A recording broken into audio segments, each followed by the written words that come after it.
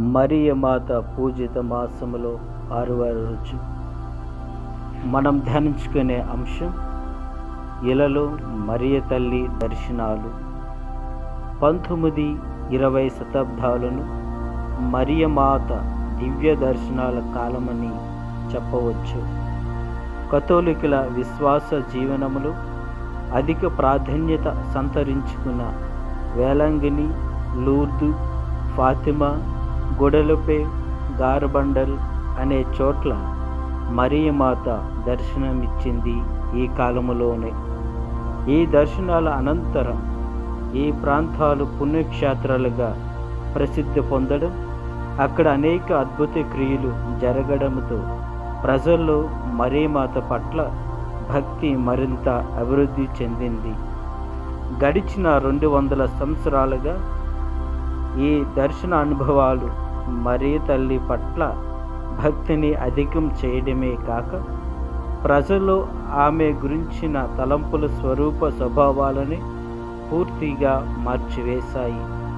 ప్రజలు మరీమాతను బైబిల్లో చెప్పబడినట్టు ఒక మామూల యూదా వనితిగా కాక లూర్దు ఫాతిమా వేలంగిలలో దర్శనమిచ్చిన మహిమానుత మూర్తిగా తమ మనస్సులో ముద్రించుకొని అవే చిత్రపటాల్లో స్వరూపాల్లో ఆమెను సందర్శించుకొనసాగిరి. సువార్తలో చెప్పబడిన మరియమాత ఆదర్శ జీవిత సందేశాల కంటే ఈ ప్రాంతాలలో ఆమె అందించిన సందేశాలకే ప్రజలు అత్యంత ప్రాధాన్యత ఇవ్వనారంభించారు. ఈ దర్శనాల ప్రభావం సందేశాల మూలంగానే మరియమాత నిష్కలంక హృదయానికి మానవ జాతిని అంకితం ఇవ్వటం రష్యా మారు మనసు పొందేలా ప్రార్థించటం మరియమాత స్వరూపాన్ని ప్రపంచ నలుదిశల సంసార యాత్రగా కొనిపోవటం వంటి భక్తి కార్యాలు మొదలయ్యాయి. ఇటీవల రష్యాలో సంభవించిన రాజకీయ మార్పులకు మరియమాత దర్శన ప్రవచనాలే కారణమని కూడా చెప్పడం మనకు తెలిసిందే.